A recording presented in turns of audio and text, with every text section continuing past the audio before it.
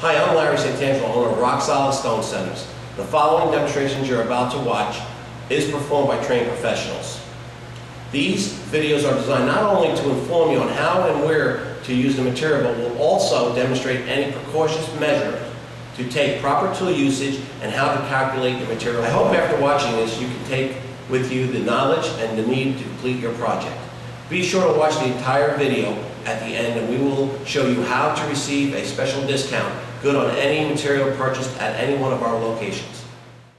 Accenting your landscape with boulders can add interest, impact, and character. Rock Solid carries some of the most interesting types available. We have cedar bark stone. Here's Canadian mica. We carry lava rock boulders, lime rock, and pink marble.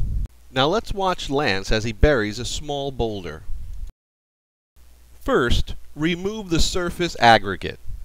Then, dig your hole a little wider than the stone to be buried and about 4 to 6 inches deep.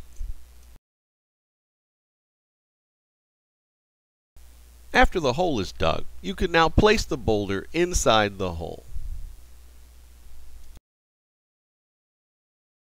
Now carefully fill the hole with the surface aggregate you removed earlier. Remember to tamp down the aggregate to keep the stone from moving. Hi, I'm Larry Santangelo again. I hope you got something out of this demonstration that will help you tackle your next project. Feel free to stop in and visit us. Mention you've seen us in this ad, and I will save you up to 10% on your next purchase. Thank you.